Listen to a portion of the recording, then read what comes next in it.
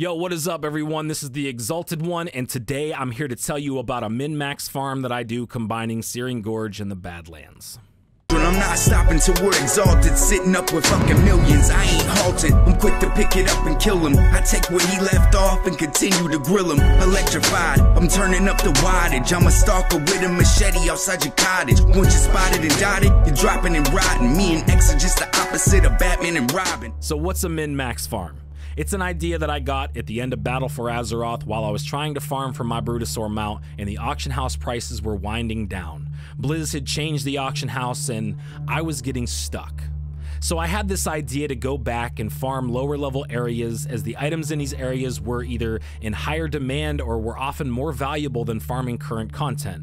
Basically, the idea behind min-maxing is looking at each zone and finding out what that zone offers in terms of ores, herbs, rare mobs, potential mob drops, pets, and so on. Basically, taking advantage of everything that it has to offer, and literally trying to minimize your time as well as maximizing your potential profits. I'm going to steer clear of mentioning specific gold amounts because I realize this varies from server to server and I don't have enough experience with other servers to know whether or not this is a good farm for you. Ultimately, you should look up the items I'm farming on your server and get a general idea of how much gold per hour you'll be making based on what I farm. You don't need anything in particular except a toon with mining and herbing. However, using a druid with swift flight form and moonfire bound to a few easily accessible keys will overall make this faster. And you should also consider using Darkmoon Firewater as this is going to speed up the rate at which you can gather these items. So let's get into it. I start off in the corner of Searing Gorge and hit a few of the spiders. The spiders here drop Shadow Silk probably once every 4 or 5 kills. I haven't used any data to confirm the drop rates, I'm just going off the top of my head for what feels about right. If you're using Loot Appraiser to keep track of this, Shadow Silk doesn't usually show up, so just be aware that you have to factor in that money outside of this depending on what you're planning on doing with it. Shadow Silk sells for pretty well on the server I'm on, but if it's lower than the normal price, I just buy them off the auction house and relist them along with the stack that I farmed. Searing Gorge offers us plenty of ores and herbs like mithril, gold, true silver, firebloom, and sungrass. If you're looking up routes for this, you'll find the majority of the herbs are more focused in the center areas of Searing Gorge, while the other ores are mainly at the edges of the rocks. I tend to weave in and out of these areas, kind of finding a nice niche path that encompasses both. You'll find that using Darkmoon Firewater makes farming this stuff quick enough that the herbs and ores won't respawn by the time you make a full circle, and you'll either be waiting for respawns or you can do what I do and just hop over to the Badlands. Now, the first thing that comes to mind from the Badlands is whelp farming. And while I do tend to take a few shots at the whelps when I'm bored, the respawn rate can be so fast that it can be a farm all on its own, and you'll get distracted.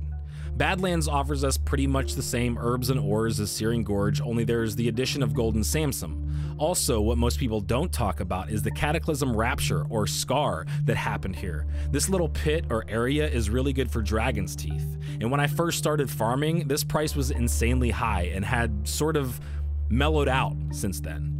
But it just shows the type of variety that you can really pull from combining these zones together. I also find that in the Badlands, gold ore seems to spawn a little more frequently than Searing Gorge, so keep that in mind too. Both of these zones provide a consistently regular availability of rare spawns from which we can grab some green transmog BOEs. Don't expect these to sell for anything crazy. I have a sort of weird system that I use to try and push these before I just vendor the stuff that doesn't sell. It's essentially sell them at market value, sell them below market value, then sell them above vendor value, and then finally, I just vendor them. And this is all based off of how often I plan on doing this farm. As in, if I'm selling enough mithril to completely empty my inventory, I'll probably end up vendoring more of these green items more quickly. Especially if I end up getting multiple versions of them. I also don't worry about stats or things like of the quick blade because since we're max level, there's not going to be anyone buying these greens to actually level with them. This is legit purely for transmog only, and so far the loot table of these gives a pretty wide variety of items with some pretty wild prices, so definitely check before you ultimately decide to vendor. You can even possibly disenchant these, but I don't because the prices and the time spent disenchanting them aren't worth the value of the gold if you were to just straight up vendor them.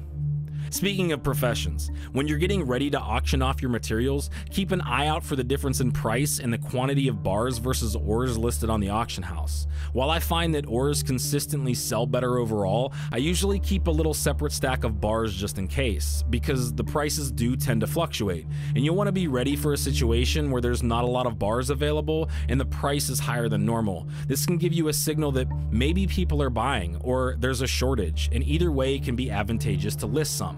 Now, I'm not going to talk about professions here because this is purely a farming guide, but there are plenty of other options to flip your ores or your bars depending on what professions you have and what you want to do.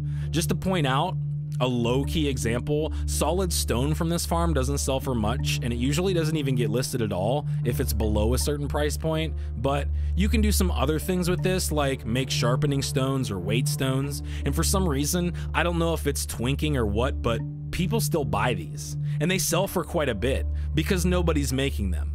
So if you do have professions and you want to explore some additional options that you might have available to you, open up the professions box by pressing K and selecting your profession and either type mithril ore or mithril bar in the search box or just click on the filter box and click the checkbox on have materials and you can see what's available to you. At the end of the day, don't feel bad if you end up vendoring the scraps in this farm. All of this is designed around maximizing the amount of stuff you can get from these zones to give you options or ideas for what could potentially sell and what doesn't. I plan on making a few more guides like this before Shadowlands releases, even though it may not be worth it, because I do have a plethora of content that I can pull from but I'm going to use how well these videos do as a basis for whether or not I continue making videos like this in Shadowlands. So if you do like this content, even if it isn't applicable to the current state of the game, let me know in the comments or give the video a like and I can judge accordingly. Until next time, I'll see you later.